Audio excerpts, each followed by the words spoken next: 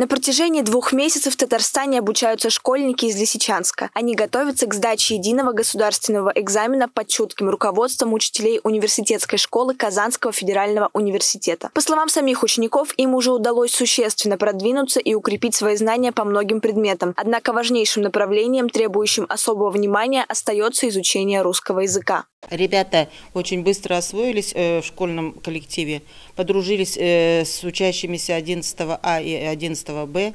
Они общаются не только вот на уровне каких-то э, школьных мероприятий, но и вне школьной обстановки. Мы сначала разбирали отдельно все тестовые задания, постарались их научить писать экзаменационное сочинение. Сейчас отрабатываем уже полностью все варианты, они прорешивают. У кого-то получается, у кого-то не очень но совершенно другие стандарты. Но здесь мы стараемся, активно готовимся к ЕГЭ. После уроков остаемся на дополнительных занятиях, а, с учителями прорешиваем варианты ЕГЭ, стараемся, благодаря тому, что нам приобрели а, учебники по ЕГЭ, а, дома в свободное время мы прорешиваем варианты. Школьники не только усердно готовятся к предстоящим экзаменам, но и активно участвуют во внешкольных мероприятиях. Так недавно гости из Луганской республики познакомились ближе с местными традициями, побывали на импровизированном татарском празднике Сабантуй, прошедшем в стенах университетской школы, а также своими руками попробовали приготовить национальное татарское блюдо эчпочмак. В организации досуга для ребят принимают участие еще и городские культурно-спортивные учреждения. С момента своего приезда в Елабугу школьники смогли познакомиться с несколькими экспозициями Государственного музея-заповедника, а также приняли участие в праздновании широкой масленицы. Любители спорта тоже нашли себе занятия по душе. Например, можно посетить занятия по боксу на базе спортивной школы номер один один под руководством опытнейшего тренера, мастера спорта Константина Балабанова. Ну, видно, что без практики, что ранее не занимались никогда боксом, единоборствами.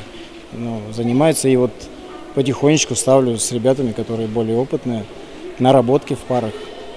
Думаю, что если дальше будут так заниматься усердно, то и будут какие-то результаты. Возможно, разряды выполнят.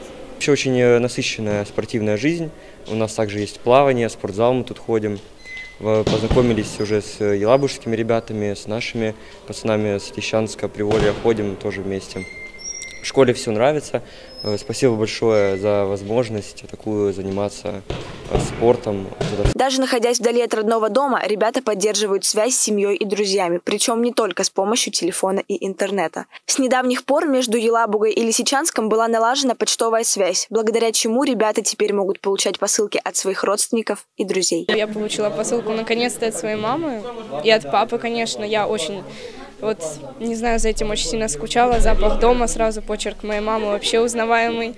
Давно его очень не видела. Я благодарю, вот, что есть люди, которые нам помогают в этом, связываться как-то с родными таким способом. Екатерина Аскарова, UniverNews.